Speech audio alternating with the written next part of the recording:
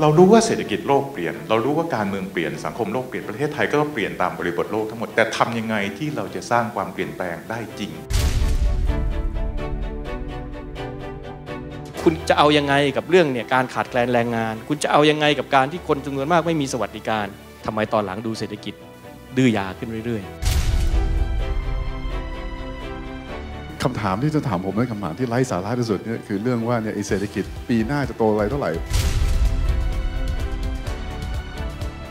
บริบทมันเปลี่ยนไปหมดแล้วสถานการณ์ข้างนอกเอง สิ่งแวดล้อมข้างนอกเปลี่ยนไปหมดแล้ว